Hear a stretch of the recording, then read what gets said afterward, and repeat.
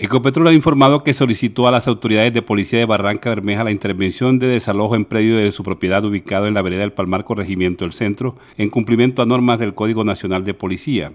Las personas ingresaron según la empresa al predio de manera violenta el pasado 28 de septiembre, instalaron allí cambuches de palos, plásticos y pese a que se les requirió desistir de la invasión del predio, dice la empresa, continuaron con su ocupación ilegal. La empresa solicitó acompañamiento para la realización de esta diligencia a las autoridades de policía que en compañía de la personería distrital llevaron a cabo la diligencia en el día de hoy. El desalojo tuvo como propósito, según la empresa, la protección de los bienes públicos. Concluye Ecopetrol diciendo que como resultado las autoridades de policía capturaron en flagrancia a varias personas que serán puestas a disposición de la autoridad competente.